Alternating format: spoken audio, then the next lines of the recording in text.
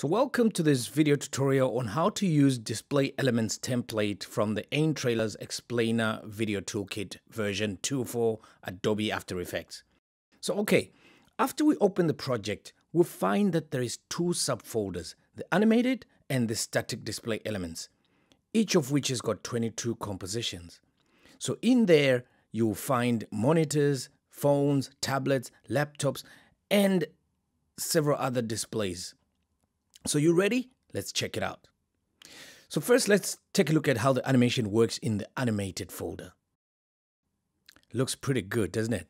But in the folder called static, we can see the same display elements, but without animation. So we can see a monitor, for example, without any animation. Now let's look at how to work with these display elements in a little bit more detail we can see there's one available layer that's called video holder. So the video holder is responsible for the image that shows in the displays field.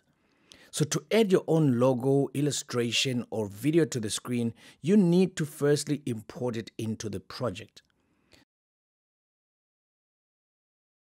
After that, just open the layer with the video holder and transfer your video to it.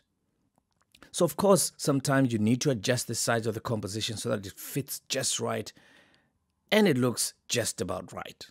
So now let's return to the previous composition and take a look at our result. Mmm, nice. I love it. So static displays have exactly the same functionality.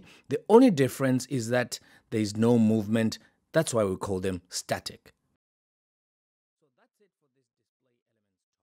So this video guide for this section is over. Thanks for watching. Please don't forget to subscribe to our channel for all the latest updates on new products and offers.